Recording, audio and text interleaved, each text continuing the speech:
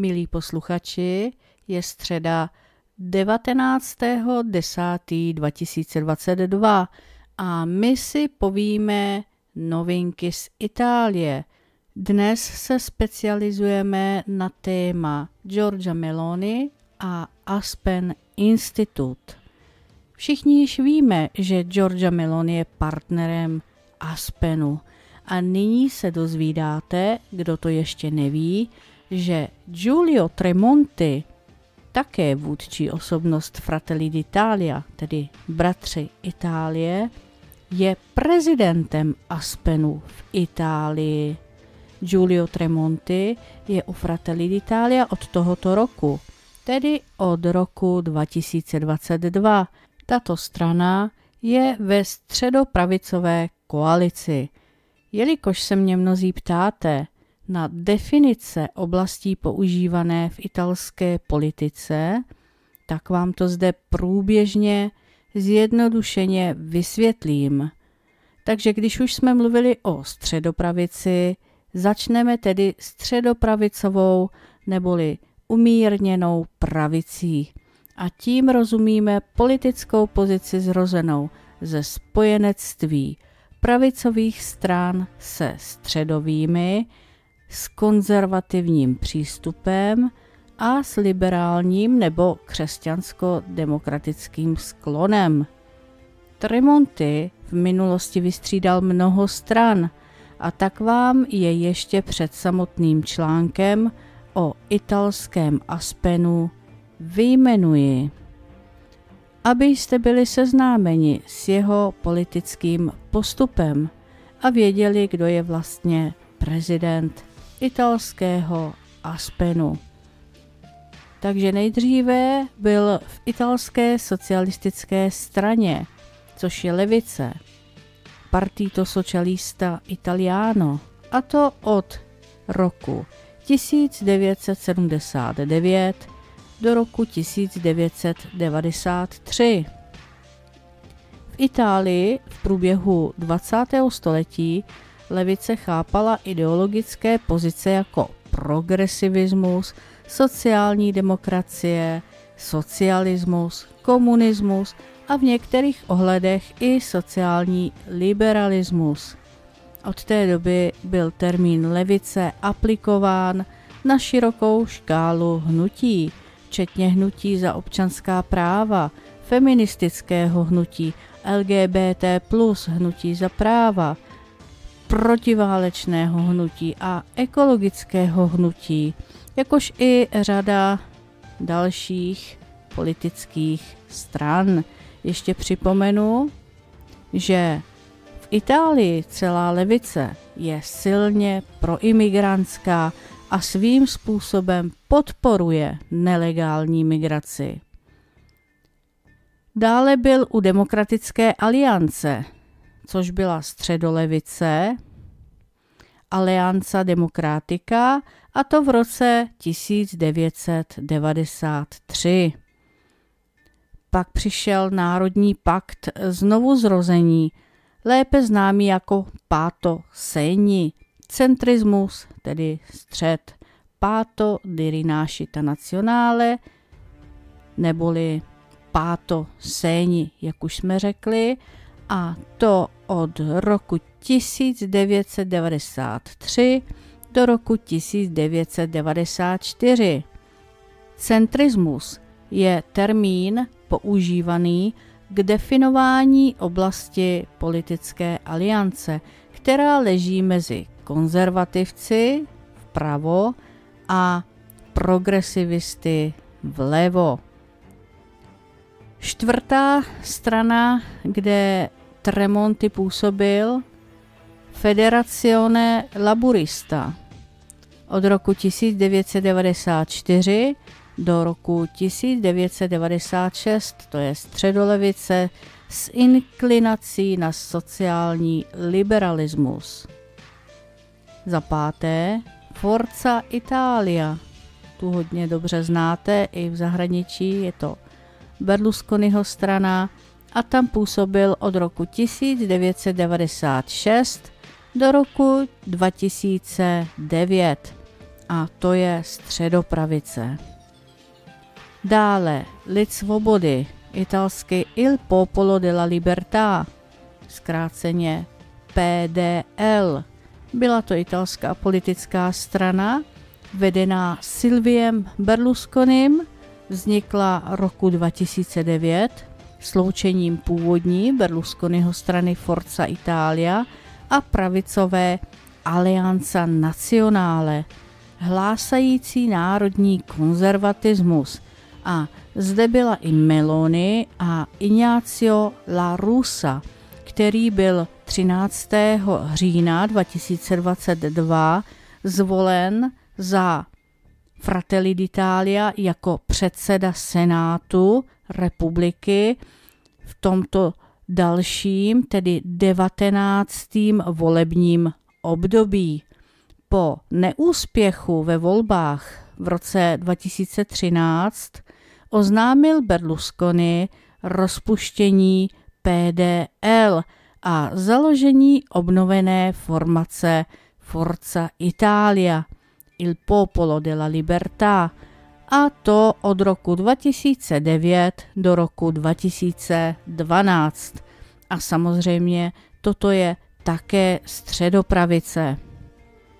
Tremonti pak založil hnutí 3L, 3L, tedy Lista Lavoro e Libertà od roku 2012 do roku 2013 a tam jsme zase na centrismu, která má teda inklinaci na středopravici.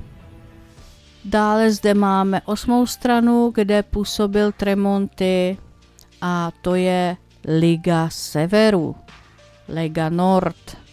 A to od roku 2012 až 2013. Pro vás v zahraničí také známá strana, která byla tenkrát definovaná jako pravicová, což je obecný termín pro označení konzervativní politické strany. Dnes je to středopravicová strana, denominovaná jako Lega, tedy bez toho severu, je zapsaná přesně jako Lega per Salvini Premier. No a dále je tady Grandi Autonomie e Libertà od roku 2013 do roku 2018 a to je středopravice. Dále zde máme hnutí Rinascimento od roku 2017 do roku 2018 a to je středopravice. No a jsme u jedenácté strany, která je teda čerstvá, nebo jeho působení je zde čerstvé, a to je od tohoto roku, od roku 2022, ve straně Fratelli d'Italia, tedy bratři Itálie.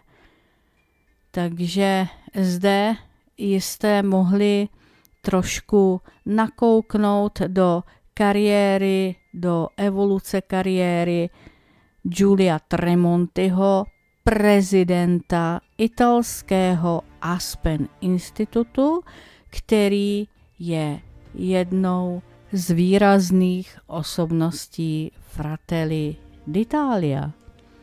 Narazila jsem na zajímavou analýzu, kterou v Itálii zpracoval reportér Eugenio Miccoli, kterého jsem skontaktovala, takže byl seznámen s tím, že budu zpracovávat jeho analýzy do českého jazyka a tak se máte na co těšit. Takže tentokrát vás provedu, dá se říci, tímto dílem vypracovaným pro Itálii, ale nebude na škodu, když si to zde znovu také připomeneme. V Itálii málo kdo ví, co Aspen ve skutečnosti je a jaké vazby a osobnosti s jinými známými nadacemi a organizacemi stojí za tímto středem zájmu. Ano, můžeme to takto definovat. V kostce tedy. Kdo bude skutečně vládnout v Itálii v příštích pěti letech? Bude to opravdu Georgia Meloni, anebo ne? 26. září 2022 středopravice oslavila výsledek politických voleb, v nichž se Fratelli d'Italia, tedy bratři Itálie, stali první stranou zemi s 26% hlasů. Vítězství italského konzervativního křídla proti progresivní levici.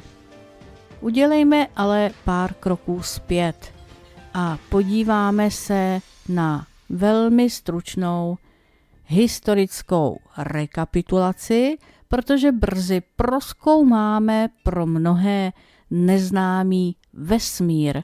Ano, zde se dá říci právě vesmír s ohledem na tu rozsáhlost působení a velikost a kam až vlastně, řekněme, ty pařáty mohou dosáhnout. Říká vám něco Aspen Institut? Zůstaňte s námi až do konce. Objevíte nepublikované pasáže. Georgia Meloni, narozená v roce 1977 po dlouhém působení v italské pravici, byla v roce 2008 ve věku 29 let zvolena do poslanecké sněmovny na kandidátce Alleanza Nazionale a stala se ministriní pro mládež za čtvrté Berlusconiho vlády. V roce 2012 spolu s Něciem Larusou a Guidem Crossetem založili Fratelli d'Italia Centro Destra Nazionale, a to z rozkolu z PDL. Strana ze začátku nezíská moc hlasů a ve volbách v roce 2013 inkasuje pouze 1,96% a do parlamentu se díky tehdejšímu volebnímu zákonu, zvaného také Porčelum, dostane z devíti poslanci. Ale postupně potom, co se několikrát změnil symbol a stali se jednoduše bratry Itálie, tedy pouze Fratelli d'Italia, bylo dosaženo dobrých výsledků díky silně euroskeptickým a nacionalistickým tónům.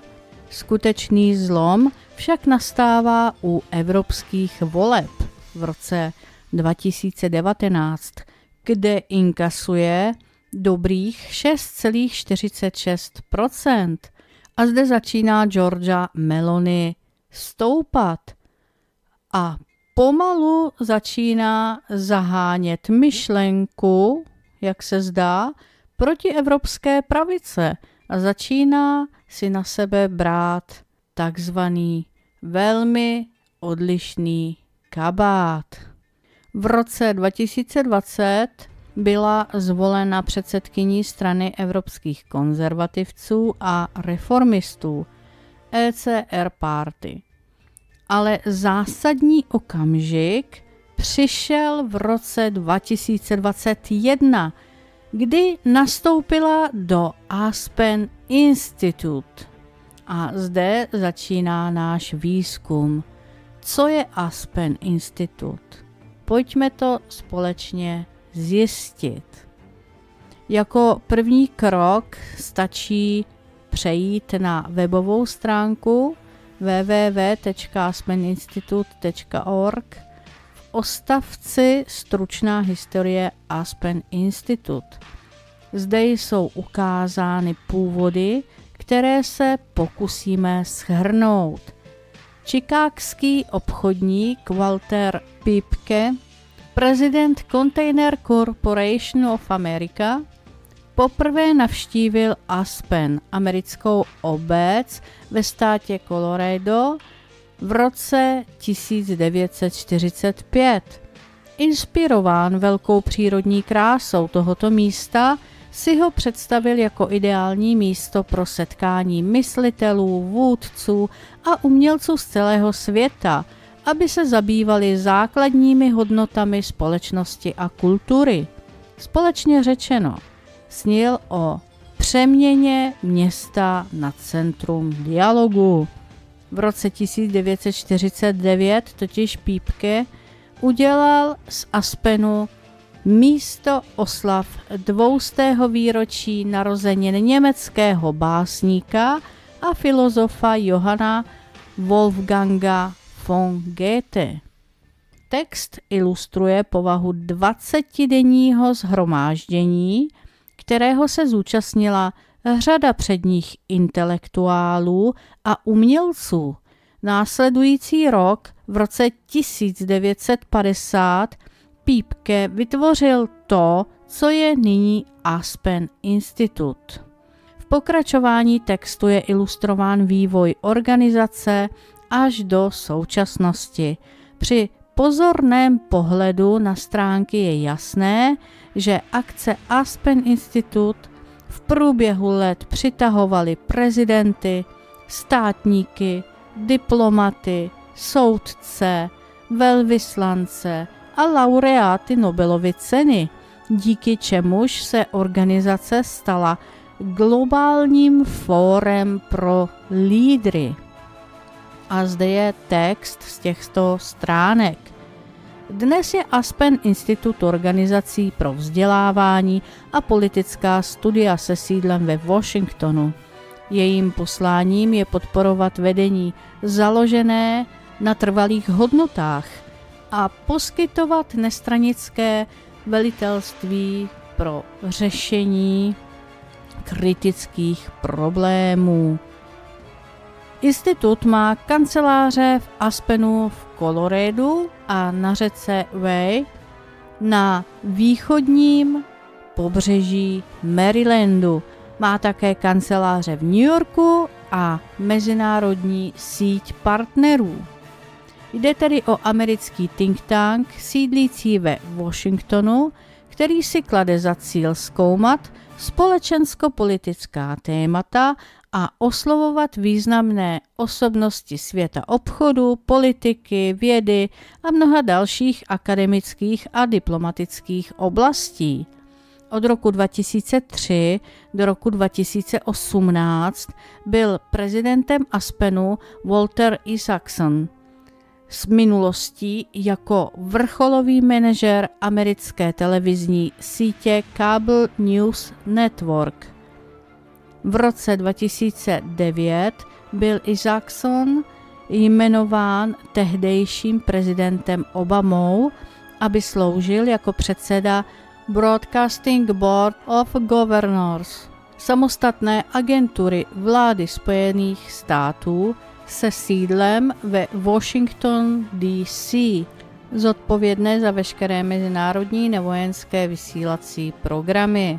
Vše dostupné na webu obamawhitehouse.archivize.gov.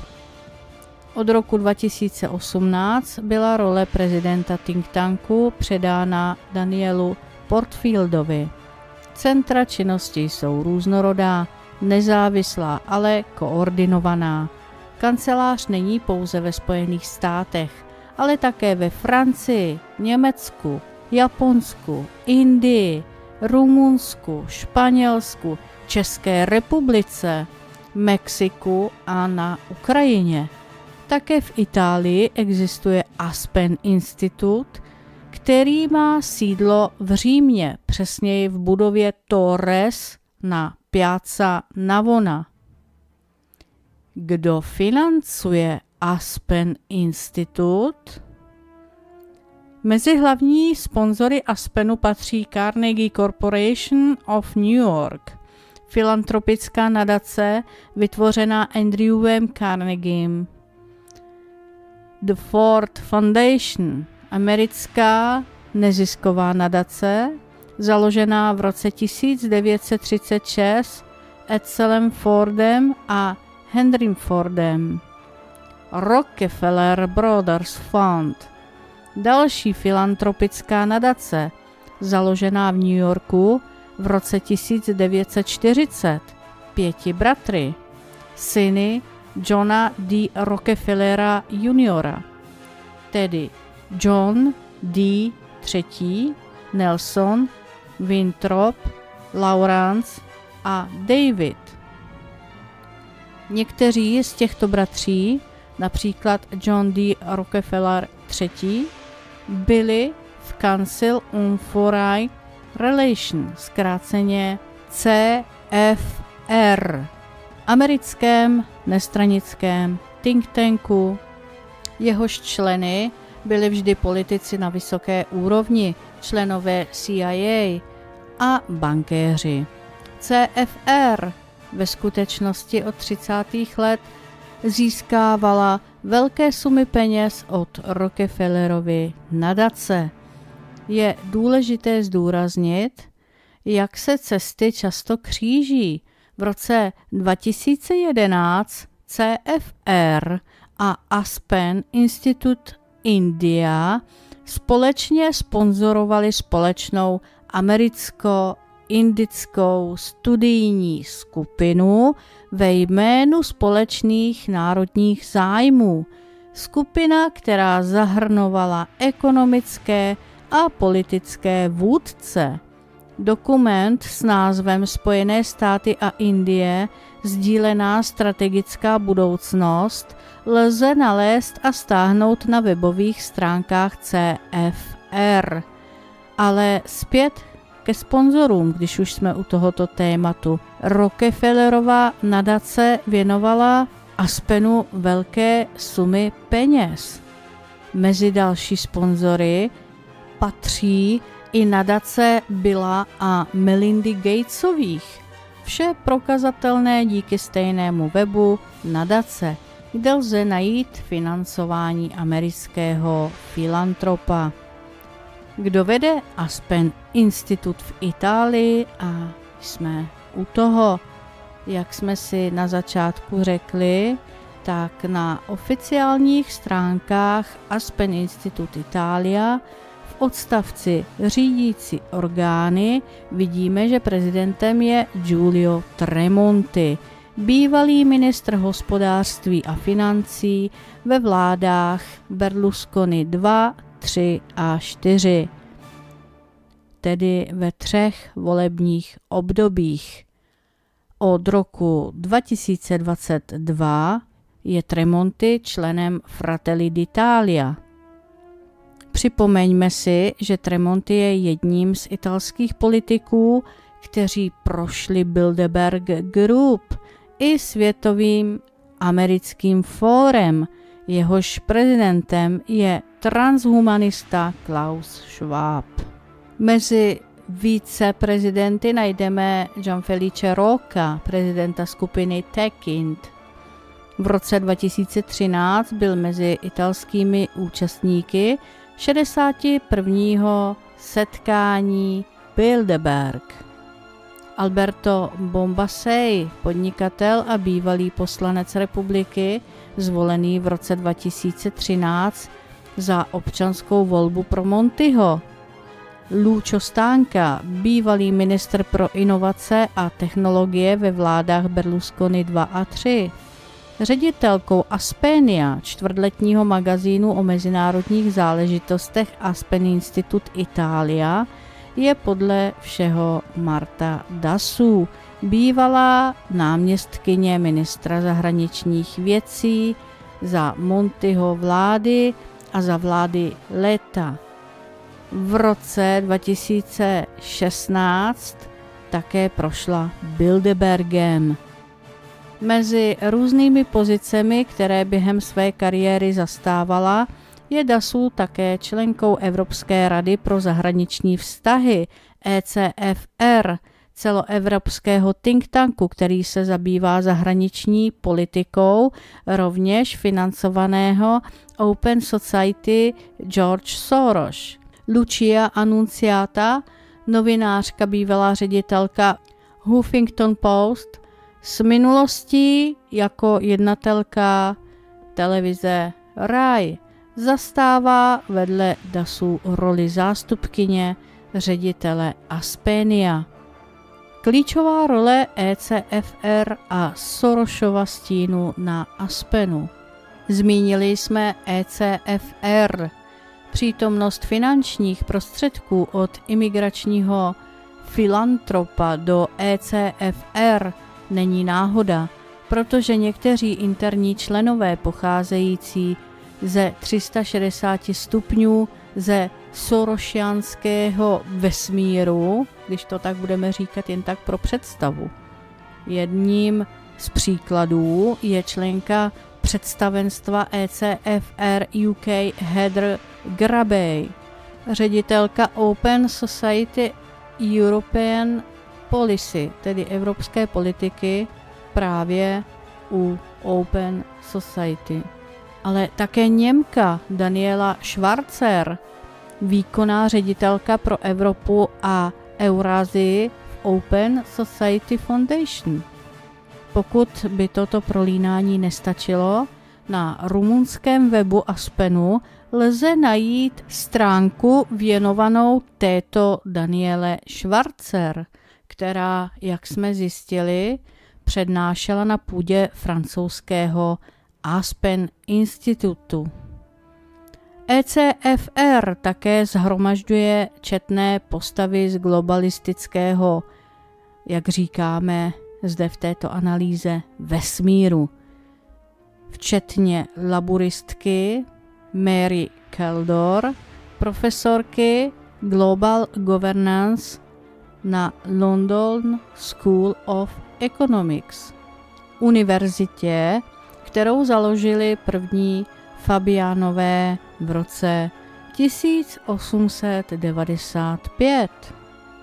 Vrátíme-li se do italské rady, do výkonného výboru Aspen Institute Italia, patří mnoho dalších osobností z ekonomického, politického a novinářského světa, včetně je tam Giuliano Amato, Gianni Letta, Romano Prodi, Francesco Profumo a Paolo Mieli.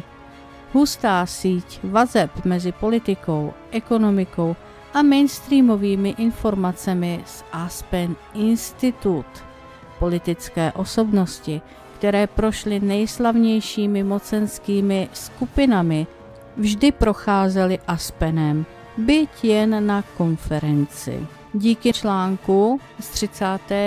června 2008 v Corriere della Sera, jehož ředitelem byl v té době Paulo Mieli, zjišťujeme, že den po datu publikace se konala velmi důležitá konference Aspen Institute.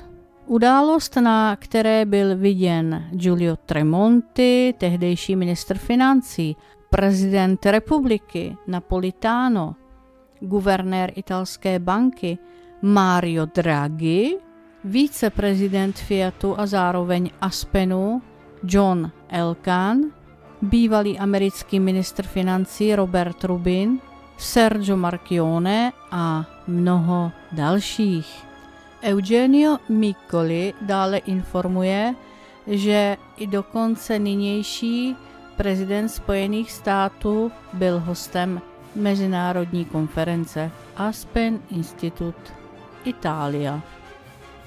Jak jsme již zmínili, Aspen má kancelář i na Ukrajině, pokračuje Mikoli.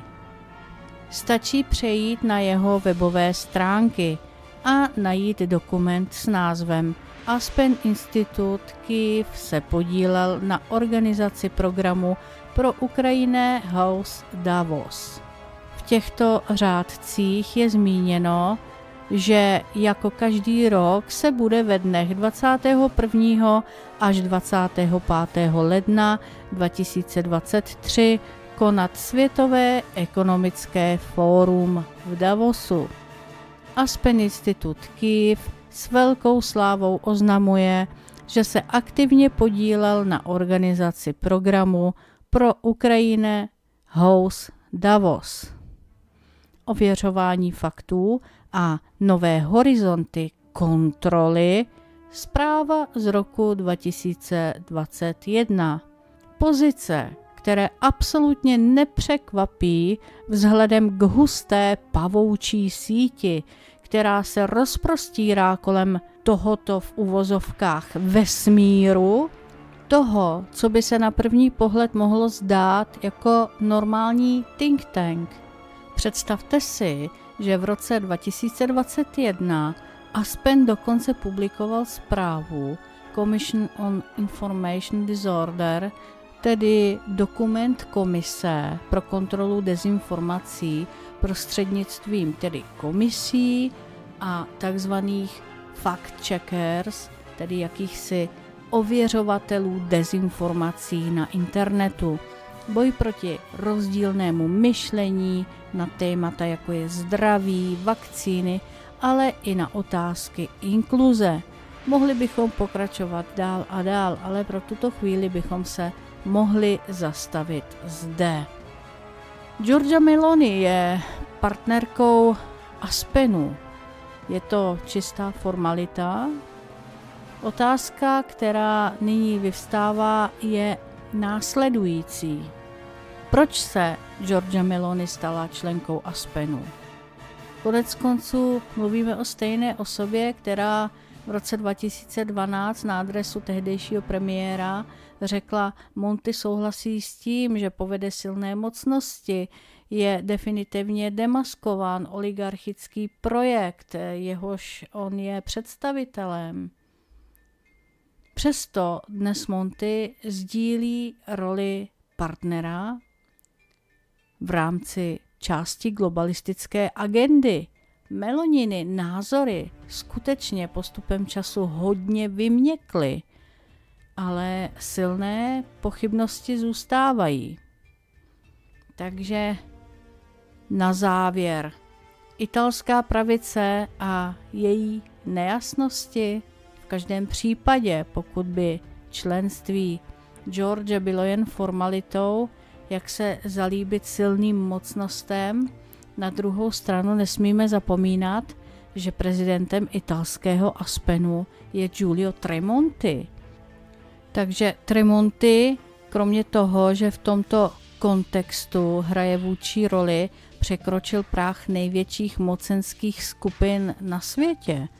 I když se několikrát ohradil proti problémům, jako je genderová proměnlivost a transhumanismus. Stručně řečeno, pokud je progresivní levice otevřenou schránkou ve službách globalistických orgánů, je pravice ve své dvojznačnosti polem, které je třeba objevit. Faktem zůstává, že má mnoho styčných bodů s tou elitou, která má za cíl zničení společnosti. Aspen Institut je toho ukázkou. Takže takto to vidí italský reportér Eugenio Mikoli, nebo spíše si klade a nám všem klade tuto otázku. V každém případě je k zamyšlení, co vzejde z této vlády, která je ale naopak pro mnohé i tak velkou nadějí a všichni doufají, že praktiky figurek fungujících v Aspenu nebudou tuto vládu ovlivňovat.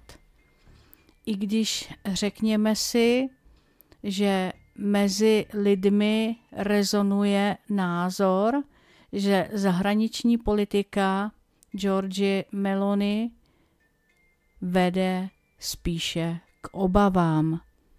Takže, jak říkám, doufejme, že to nebude tak strašné, a že přece jenom to povede k lepším zítřkům. Nevzdávejme se naděje a zůstaňme velmi, velmi pozorní a připraveni se okamžitě ohradit.